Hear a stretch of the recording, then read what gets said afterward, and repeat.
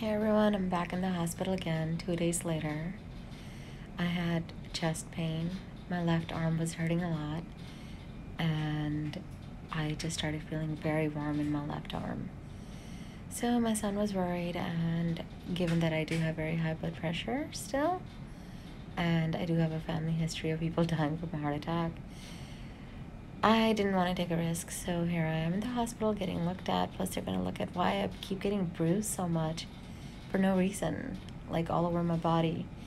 Um, I guess it might just be related to stress of what's been going on in my personal life. Um, we've been weathering serious storms, my son, myself, um, in our home.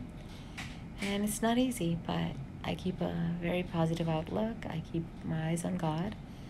And I know we will get through this. And one day things will get better and I'll move on. But here I am right now in my favorite clothes to wear, the hospital gown, just sharing real time life story.